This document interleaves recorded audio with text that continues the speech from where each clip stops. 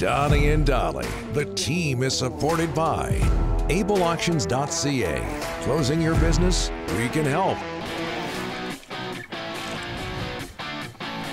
Tuesday, and all of our guests, including Dan Dunleavy, the standing by, are brought to you by the Bayside Oceanfront Resort. Book your stay at the Bayside and enjoy the many amenities the hotel has to offer, such as oceanfront rooms, free parking, oceanfront restaurant, cafe, indoor and outdoor swimming pools, gym, and more. Call 250 248 8333 or go to their website, baysideresortparksville.com. Just before we get to Dan, Delaney's OK Tire and Langley inbox from Tanbeer. Rick's at a loss for words. He can't imagine McCabe and Lindholm. He can't blame McCabe and Lindholm on the last regime. Another good point by Tanbeer out there. Yeah, keep reading that guy's uh, uh, text. Well, I know you enjoy Yeah, well, you them. won't get smarter by reading them, Don. You're not going to get smarter. See, it's sensitive. You're sensitive about it. We'll talk The more about it later. He's an idiot. He's we'll, just an idiot. We'll talk more about it later. Let's bring in uh, the voice of the Sabres in town tonight uh, to take on the Canucks at Rogers Arena, uh, Dan Dunleavy, broadcasting veteran. How are you, sir? I'm good, thank you. Um, I'm curious who the idiot is a little bit, but I'm afraid. To, I'm, a, I'm a little bit afraid to ask. well, it's not you, okay? So let's let's start there. Hey, hey, Dan. Oh, that's okay. Yeah, oh, oh, join the club. Join the club. Yeah. Uh, Yeah, yeah. Sabres, Sabres over Seattle, 6 2 uh, last night, pushing for a playoff spot, uh, four points out of a playoff spot. Uh, what can you, and man, I'm, I'm telling you, it's been a while, 2011 since they made the playoffs. What can you tell us about the Sabres' belief level at this point? Yeah, um, interesting question. I think um, from the players' perspective, I think they they have a lot of belief that they certainly have the ability to make a continued run here. I mean, evidence from even the teams are about to play through what is normally known as a bit of a gauntlet for Eastern teams, as you know, whether it's California or coming out to Western Canada. But so far this year, uh, obviously played the Canucks very tight at home earlier this season, so there's confidence going into the game tonight uh, against the Vancouver team that's extremely dangerous. They're well aware of that. Um, but you know, they they dusted off a little bit of a.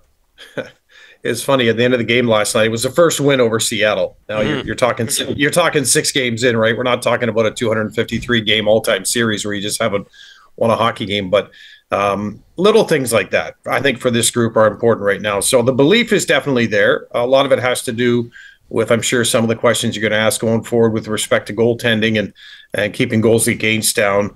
Um, goal scorers can get hot and streaky. Jeff Skinner seems to be back on the right side of that now over the last little stretch, so that's good news for him. But uh, to answer your question a little more directly and not drag it out any longer than I have, there is there is confidence there. Yeah. Yeah, and Dan, I imagine part of that confidence uh, might come from the acquisition of Bowen Byram. And of course, a lot of people uh, here follow Bowen because he played junior hockey for the Vancouver uh, Vancouver Giants. How is he fitting in so far? Yeah, well, then you you you already know the answer to the question. I mean, he stepped right into the lineup, and I mean, statistically, you can see that he's been putting up points already. But he's playing with Rasmus Dahlin, and right out of the gate, to have those two extremely talented puck carrying, offensive minded defensemen on the ice at the same time, obviously cause uh, any team problems. And it doesn't have to be to the extent that either is putting up massive points in a game. What it's doing for a guy like Rasmus to have uh, Bowen here is that Rasmus does not have to be a 29 minute a night guy like he was before Bowen showed up as Buffalo was trying to make a push here in the stretch. And also during those 29 minutes, literally have to be the guy with a puck on a stick every single minute. Now that is, I know it's commonplace, uh, you know, for your uh, your blue chip defenseman in the National Hockey League, but it certainly is nice with a guy that's still, in Rasmus's case, to have this much experience in the league at such a young age to have someone there that can share the load and just not have him get to a point where not really physical fatigue, but maybe mental fatigue for trying to do it all was really on his shoulders. So you bring uh, Byram in here and he's ready, willing, and able. Give me the puck. I'll, I'll the zone for you. We'll get entry there. Rasmus, you can go set up somewhere else, maybe on the wall where they're not expecting you to be. So his talents alone are enough, obviously, to welcome what he brings to the hockey club, but it's really what he's doing and creating things for other players already and not even forcing it. Again, you've seen him play out here. He's, he's just being himself, and it's um, it's it's a big, big part of what the Sabres uh, need going forward, whether they, you know, continue this climb or not to get to a playoff spot. Certainly,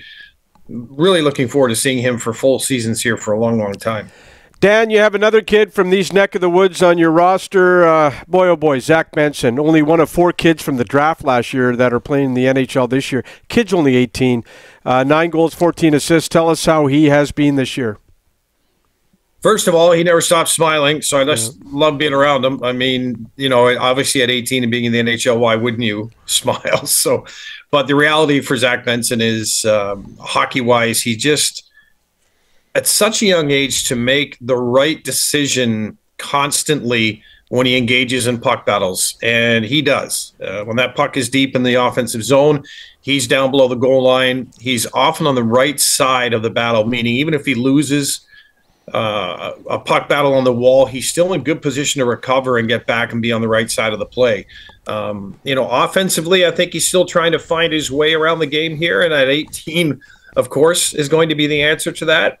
Uh, but by that, I mean he's not coming in with a blistering shot necessarily, but he certainly is schooling himself on how he can jump into holes and just look for areas on the ice that kind of happen with his own positioning and just reading the play. And he did it the other night where he was in a little bit tight on goal. He realized how the play was developing. He just popped back a couple of feet, um, and goal scorers do this. I know you got a lot of them here in Vancouver. They just find that space, and he drifted back into it. Puck got onto his stick, and he whipped it in really quick. Now, uh, again, not the hardest shot, but quick release as soon as it was on his stick, and he knew where he was putting it. So he's had a lot of moments like that where he's got opportunities in front of the goal. I like where he's going with and without the puck, and it doesn't matter what I like. Certainly, Don Granato speaks about uh, Benson's play glowingly, really since day number one. And it's true.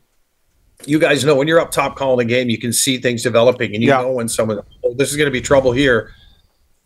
I don't think we've said that once about Zach, where oh, this hmm. kid's in trouble right now, or this young man's in trouble. He just plays the game smart. Dan, uh, it's been a tough ten years here you know, but we're going back to the playoffs this year. Uh, the Canucks are, but I, I, I think of Buffalo a lot. Twelve years, no playoffs. Such a wonderful hockey market. That fan base, boy, what they've gone through, Dan, uh, and they, uh, that's a great hockey town, by the way. And uh, I, I feel for those fans sometimes.